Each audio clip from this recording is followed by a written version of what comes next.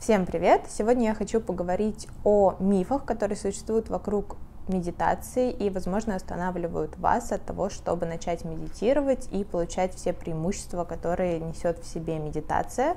Меня, по крайней мере, они останавливали. Я несколько раз пыталась начать медитировать, но у меня всегда было такое ощущение, что я делаю что-то не так, и вообще это все не для меня, и в итоге медитация не задерживалась в моей жизни. В итоге где-то 7 месяцев назад я решила вновь начать медитировать и подошла к вопросу уже более серьезно, прочла разные статьи, прослушала интервью о преимуществах медитации и поняла, что ничто не должно меня останавливать от того, чтобы тоже начать получать все эти преимущества. Кстати, у меня на канале есть отдельное видео о преимуществах медитации. Если вы его еще не видели, советую посмотреть. В итоге я решила понять, что же я делаю не так, и оказалось, что я скорее думаю не так. У меня был в голове некий образ о медитации, такая картинка из фильма. Я хотела войти в эту картинку и начать получать все преимущества. В итоге этого не случалось, на удивление, и я прекращала медитировать вместо того, чтобы сосредоточиться не на каком-то образе и картинке, а сосредоточиться именно на своем внутреннем состоянии, на своем собственном прогрессе. Поэтому сразу хочу сказать, что медитация, она индивидуальна.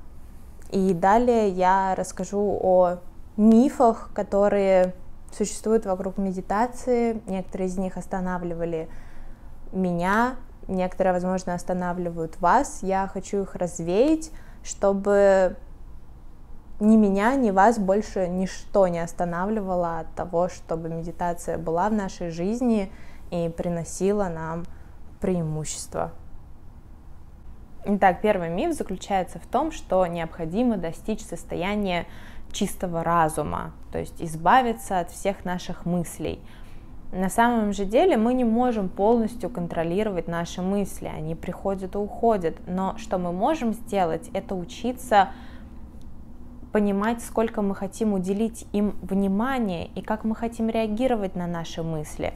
Во время медитации не нужно стараться избавиться от мыслей. Во время медитации мы наоборот учимся лучше понимать себя, как реагировать на наше мышление, сколько внимания мы хотим уделить тем или иным мыслям, что мы хотим отпустить, а над чем мы хотим более глубоко работать, и также понимать, какие эмоции вызывают эти мысли, и это уже помогает нам в дальнейшем в жизни более правильно на что-то реагировать, а, быть более конструктивными и больше полагаться на свое мышление, нежели чем на эмоции.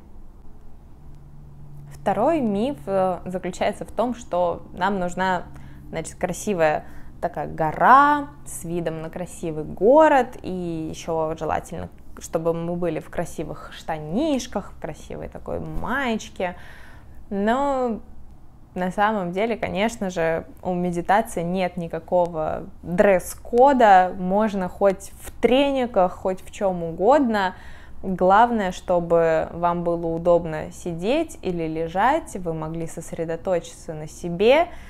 И вот эти картинки красивые из фильмов, из интернета, где люди на фоне заката сидят очень здорово в позе лотоса, это, конечно, прекрасно. Но мы прекрасно понимаем, что это не история каждого дня, поскольку медитация, она про внутреннюю работу, естественно, нам просто должно быть комфортно, удобно, мы должны сосредотачиваться на себе.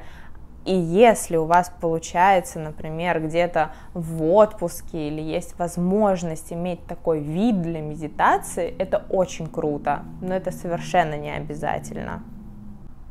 Следующий миф заключается в том, что многие считают, для того, чтобы начать получать преимущество от медитации, ее нужно практиковать э, часами и много лет.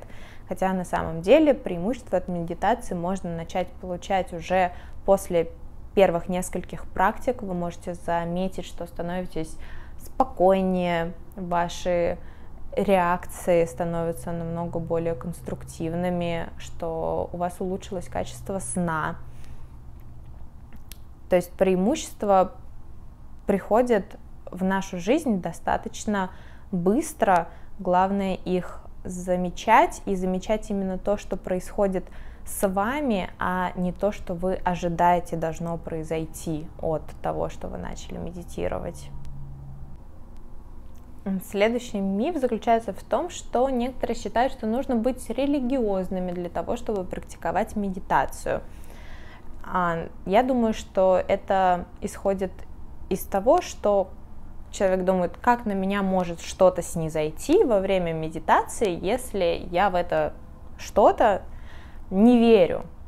И развеивается это следующим образом на вас не должно ничего снизойти. Медитация — это внутренняя работа с собой.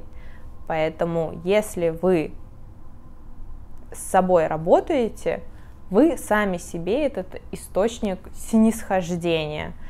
Поэтому не нужно ничего ниоткуда ждать. Вы сами себе лучший друг, и медитация вам помогает понять, что вы для себя хотите.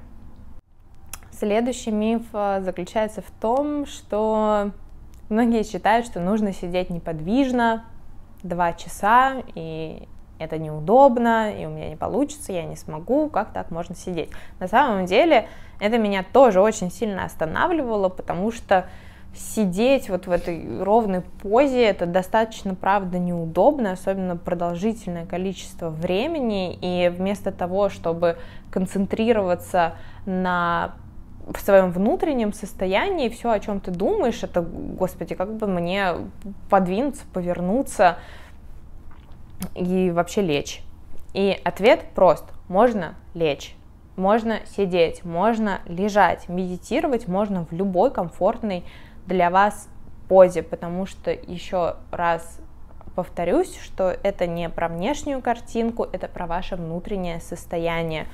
Я в этот раз а, начинала с того, что я начала медитировать лежа. И, о боже, как это прекрасно. А потом я даже купила себе подушку для медитации, чтобы мне стало удобно сидеть. И сидеть я начала когда я именно почувствовала, что я хочу сидеть, мне тело дало это понять, но поскольку сидеть на жестком полу неудобно, я нашла выход, купила подушку для медитации, стало супер удобно, и именно когда ваше тело находится в комфортном состоянии, естественно, вы можете себе позволить уже сосредоточиться на всех остальных а, процессах, которые с вами происходят. Точно так же во время медитации можно двигаться, потому что а, во время медитации вы работаете с напряжением, которое есть внутри вас. И желание тела потянуться как-то, сделать какое-то движение, это его желание выпустить скопившееся напряжение или стресс. Поэтому если вы куда-то потянетесь, поменяете свое положение, это совершенно нормально. Вы помогаете своему телу отпустить а, скопившееся напряжение, и в этом нет ничего неправильного. Следующий миф э, заключается в том, что мы можем думать, что медитация занимает очень много времени, что, например, нужно каждый день медитировать по два часа. Это полная фигня. Медитировать можно 10-15 минут. Все зависит от того, сколько у вас есть времени и желания. Да, даже 5 минут будут не лишними. То есть, если вы начинаете медитировать с негативным настроем на медитацию, что ой, мне сейчас сидеть в неудобной для меня позе 2 часа, естественно, никакие положительные преимущества вы не получите, потому что все это время вы будете сосредоточены на том, когда это мучение закончится. И это не подход к медитации. Лучше уделять ей меньше времени, но больше внимания, точнее, уделять себе больше внимания, нежели чем просто выжидать, когда это закончится, и когда же на меня э, снизойдет все то, что мне там обещает какая-нибудь статья. Нет, то есть преимущества не придут от того, что вы просидели три часа неподвижно в одной позе. Преимущества придут э, от того, сколько вы внимания действительно уделили на работу с собой. И следующий миф заключается в том, что многие думают, что есть только один способ медитировать. Например, э, сидеть э, в позе лотоса неподвижно, в тишине и все. Но нет, медитации существует э, несколько видов. Есть визуализация, где вы представляете себя в каком-то месте и, например, прорабатываете какое-то свое внутреннее состояние. Есть э, медитации, где ментор ведет ваше сознание, где вам намного легче следовать за своим мышлением, потому что ментор возвращает вас в настоящий момент. Есть медитация в движении, например, практика йоги, когда вы в движении сосредотачиваетесь на себе – есть мантровые медитации, где вы сосредотачиваетесь на каком-то повторяющемся звуке. То есть а, не нужно заставлять себя медитировать а, каким-то определенным образом. Можно попробовать разные способы, понять, какой подходит вам больше всего и какое-то определенное время придерживаться его, потом, может быть, попробовать другие способы еще раз и понять, как э, вы на них реагируете, как вам это подходит, и таким способом разнообразить свою практику, тем самым э, разнообразить преимущества, которые вы получаете. То есть не нужно никогда зацикливаться на чем-то одном, и даже если вам это не подошло год назад, не факт, что это вам не подойдет сейчас. Поэтому всегда нужно пробовать что-то новое, иногда возвращаться к чему-то старому, и самое главное просто понимать, как вы на это реагируете, что вы от этого получаете. Сосредотачивайтесь на себе, это очень важно.